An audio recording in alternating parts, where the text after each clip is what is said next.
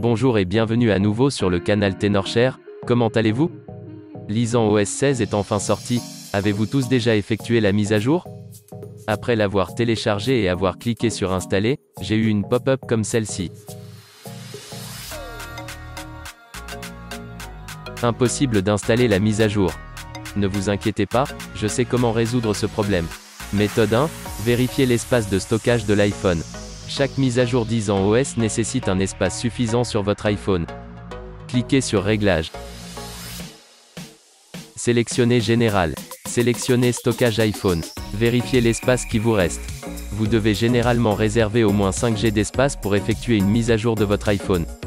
Vous pouvez voir quelles applications et quelles données vous pouvez supprimer. Si vous n'avez toujours pas assez d'espace, vous pouvez utiliser un ordinateur pour effectuer la mise à jour disant OS 16 sur votre iPhone. Méthode 2, utilisez Rayboot pour mettre à jour iOS 16. Rayboot est un moyen rapide et facile de mettre à jour iOS 16 sur votre iPhone. Vous pouvez télécharger Rayboot en cliquant sur le lien dans la section de description de la vidéo. Connectez d'abord votre iPhone à l'ordinateur. Ouvrir Rayboot.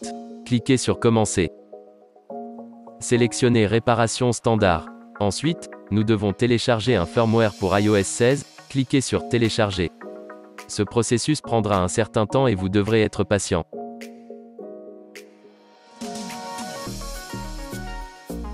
Une fois que le micro-logiciel a été téléchargé, cliquez sur Lancer réparation standard.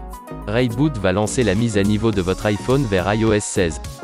Vous devez garder votre ordinateur connecté pendant le processus de mise à niveau.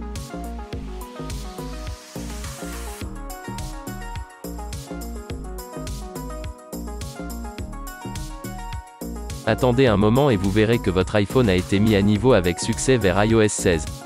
Cette méthode est très simple et efficace.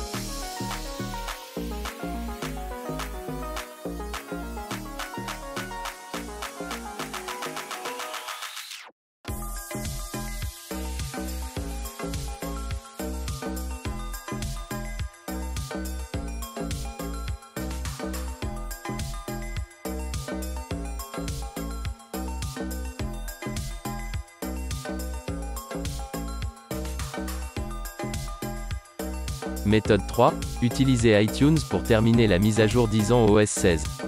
Connectez votre iPhone à l'ordinateur. Ouvrez iTunes et cliquez sur l'icône iPhone.